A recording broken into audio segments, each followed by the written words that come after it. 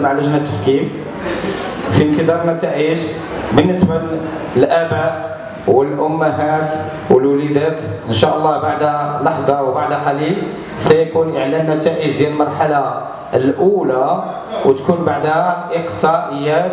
المرحلة الأولى إن شاء الله اللي غتكون يوم الأحد الموالي ماشي هذا ولكن اللي موراه أما بالإشارة إشارة أولية بالنسبة لجميع المشاركين.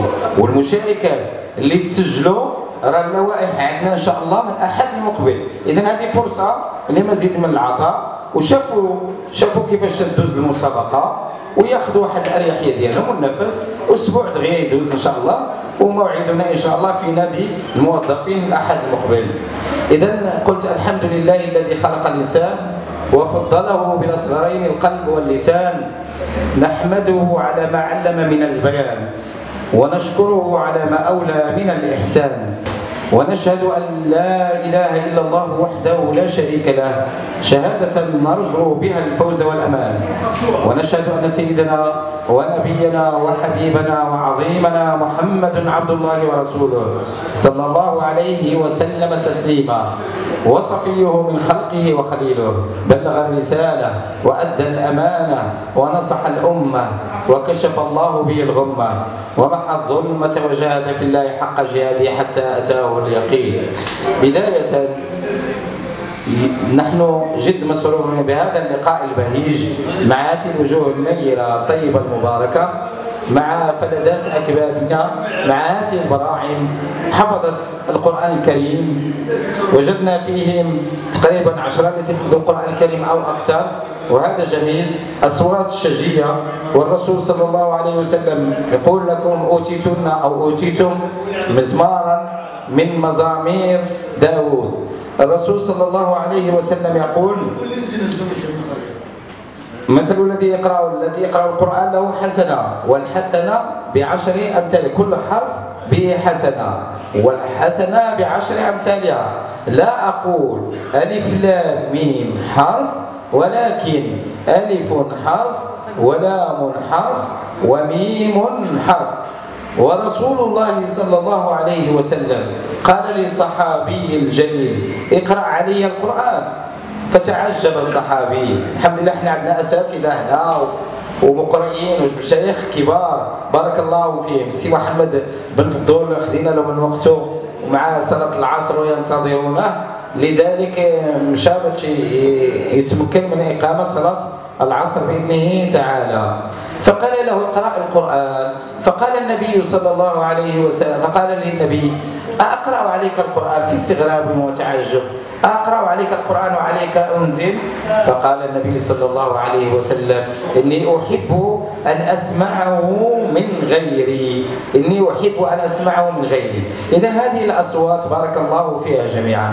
كما ذكر الأخ ندير واحد الكلمة إن شاء الله بمناسبة رمضان الأبرك. لا أجد الآن إلا أن أحدثكم بحديث في القمة والروعة والجمال. حبيبنا رسول الله صلى الله عليه وسلم يحدثنا عن هذا الشهر الفضيل. شهر الخيرات شهر الفضائل والبركات.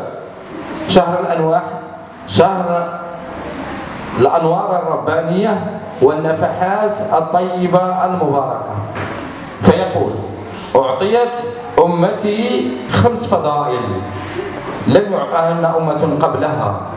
خمس فضائل خمس خصال خمس مزايا خمس عطايا. قال أولا إنه لخلوف فم الصائم عند الله أطيب من ريح المسك. هذه الرائحة هذه الرائحة التي تنبعث من في من فم الصائم فإنها أطيب وأزكى وأعظم وأعطر عند الله عز وجل من رائحة المسك ثانيا أن الملائكة تستغفر لجميع الصائمين تستغفر لهم في كل ليلة وفي كل صباح لماذا؟ لأن في الحديث قال النبي صلى الله عليه وسلم الصيام والقرآن يشفعان لصاحبهما يوم القيامة. هذه قراءة قرآنية وتقراوها وديكم تفرحوا بكم تنشطوا قال النبي صلى الله عليه وسلم والقرآن يشفعان لصاحبهما يوم القيامة. الصيام يقول أي ربي منعته الأكل والشرب وسائر المفطرات بالنهار فشفعني فيه فيشفع. والقرآن يقول أي ربي منعته القيام بالليل من قراءة القرآن ومن قيام الليل ومن تهجد ومن صلاة التراويح. هذه دعوة باش نحضروا صلاة التراويح في المساجد نسمعوا الأصوات السجية نتدبروا الآيات والمعاني القرآنية. فيقول فشفعني فيه فيشفع غدا يوم القيامة لصاحبه. ثالثا وهي بشارة أن الله عز وجل يأمر جنته ويقول لها يا جنتي يا جنتي خطاب. استعدي وتهيئي وتزيني لعبادي. أوشكوا أن يستريحوا من تعب الدنيا إلى دار كرامتي. إلى دار كرامتي.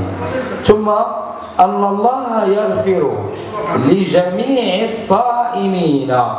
وذلك في آخر كل ليلة. يغفر لجميع الصائمين. وذلك في آخر ليلة. استغرب الصحابة استغرب الملائكة والرسول صلى الله عليه وسلم يخاطبهم في مجلسهم بهذا الحديث.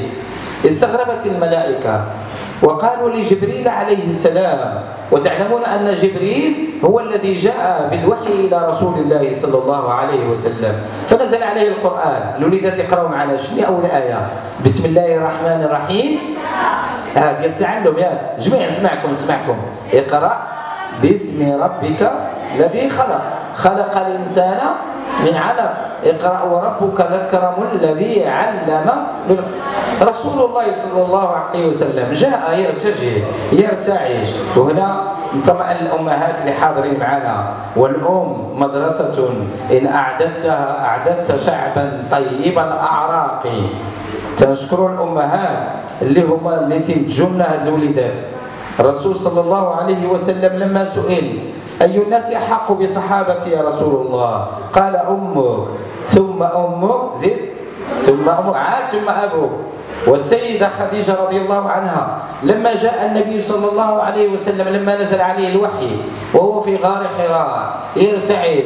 وجاء زملوني ذكروني. من طمأنات؟ أنيسته في الدرب سيدة خديجة زوجه رضي الله عنها. خديجة أم المؤمنين. قالت له يا رسول الله لا تخف. كلا لن يخزيك الله أبدا. إنك لتصل الرحم وتحمل القار وتعين على نوائب الضيف. فالله كلا والله لن يخزيك أبدا.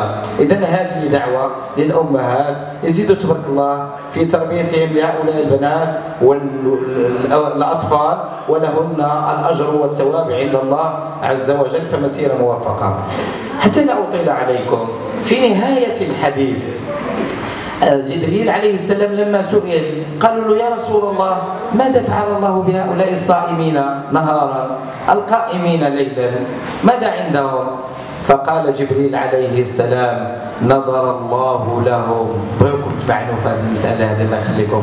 نظر الله لهم جميعا إلا أربعة ونستعيذ بالله أن نكون منها من هؤلاء. فقط للتذكير مدمن الخمر وعاق والديه وقاطع رحم والمشاحن.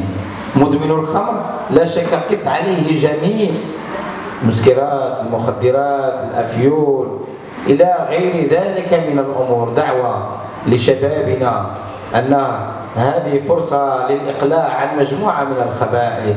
الفرصة للإقلاع عن التدخين في هذا الشهر المبارك الكريم. لماذا؟ لأن نفوسهم زكية نفوسهم طيبة هانئة مرضية. وهم يصومون طوال النهار عن هذا التدخين. وإذا بإمكانهم أن يغيروا حياتهم إلى الأفضل بإذنه تعالى. مدمن الخمر وعاق والد. والدين حاضرين معنا. ولله الحمد تعلمون أن الله عز وجل دائما دائما يقرن عبادته يقرن عبادته وطاعته برضا الوالدين كما قال حبيبي محمد صلى الله عليه وسلم رضا الرب في رضا الوالدين وسخطه في سخطهما. الله عز وجل يقول واعبدوا الله